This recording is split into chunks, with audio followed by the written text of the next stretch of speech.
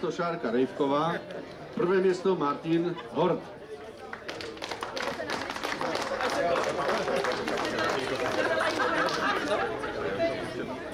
Martin Hort sa už blíži, žiadny strach.